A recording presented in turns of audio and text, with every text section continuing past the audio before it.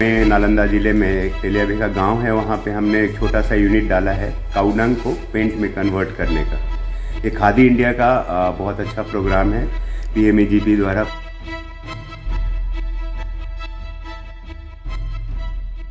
नमस्कार, आप देख रहे हैं न्यूज़ फॉर नेशन और मैं हूँ सांत्वना आपके साथ। आपने अक्सर फैक्ट्रीज में देखा होगा कि पेंट्स बनते हैं। कई तरह के केमिकल्स का इस्तेमाल किया जाता है।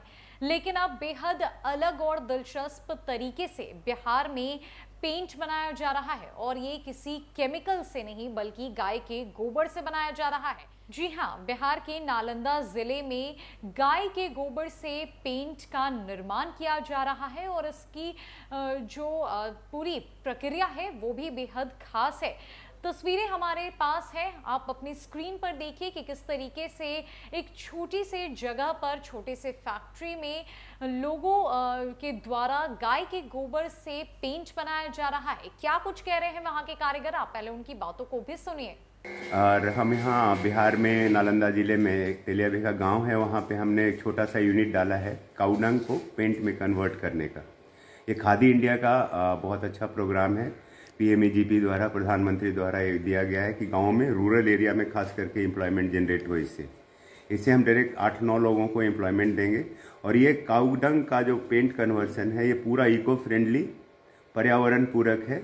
और इससे पेंट इसका बहुत अच्छा बनता है, जिससे घर के अंदर जब पेंट करते हैं तो ये hundred percent anti bacterial paint है। और इसमें फंगस नहीं लगता। इसमें किसी भी हेवी मेटल का यूज़ नहीं है। और इसमें कहा जरा सा भी गंध नहीं आएगा। आप पेंट करके आराम से सोइए। दूसरा पेंट जब यूज़ करते हैं तो घर में तीन से चार दिन तक नाक में और आँख में बहुत कस के लगता है स्किन में। इसमें कहीं पे भी नहीं है। ये हंड्रेड परसेंट इको फ्रेंडली है जिसमें गाय के गोबर को बेस बना करके इसमें डिफरेंट आइटम्स मिला करके हम लोग पेंट बनाते हैं। और ये पू, पूरी तरह से प्रूवन है। जिसमें नितिन गडकरी सर का आप बाइट देख सकते हैं। टीवी पे अवेलेबल है। उन्होंने ही इसका इनोग्रेशन किया था। और एक कुमारप्पा इंस्टीट्यूट है जयपुर में, जहाँ से इसको इसकी ट्रेनिंग दी जाती है। उनके पास पेटेंट है इसका। वो पेंट बनाने के लिए देते हैं। ये छोटी छोटी कंपनियों को दिया जा रहा है। मेरा एक ड्रीम है being from Nalanda. I want to make Nalanda a hub of paint making हम चाहते हैं कि गवर्नमेंट बिहार गवर्नमेंट भी इस पर ध्यान दे। और यहाँ के हर पंचायत, हर सब डिवीज़न में, हर ब्लॉक में एक दो खुले और इस पेंट को हम लोग पूरे इंडिया में बेचें। पेंट इंडस्ट्री एक आदमी के बस का चीज़ नहीं है। पेंट तो जिस तरीके से आपने सुना और देखा कि गाय के गोबर से पेंट का निर्माण किया जा रहा है और इस पेंट के आठ तरीके के फ़ायदे भी हैं।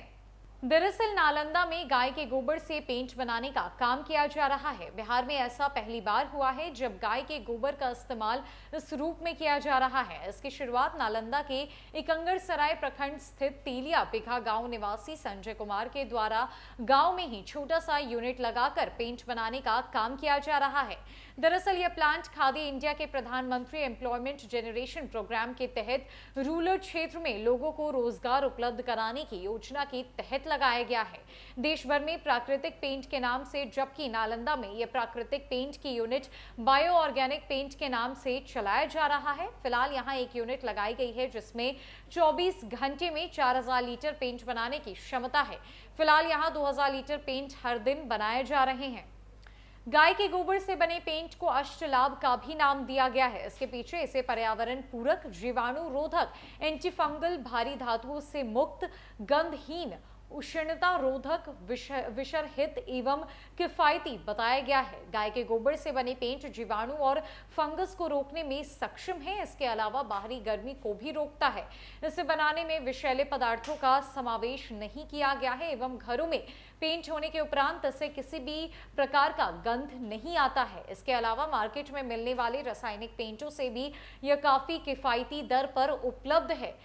तो जैसा कि आपने वीडियो में देखा कि किस तरीके से बिना किसी केमिकल के बेहद नेचुरल प्रोसेस और ऑर्गेनिक प्रोसेस से पेंट बनाने का काम किया जा रहा है और इससे जो है वो नालंदा ज़िले के जो लोकल लोग हैं, उन्हें भी रोज़गार प्रदान किया जा रहा है। गाय के गोबर से ये पेंट बन रहा है, जो बिल्कुल भी जिससे गंध नहीं आती है पूरी तरीके से ऑर्गेनिक और नेचुरल है और इसके कई तरह के फ़ायदे भी हैं।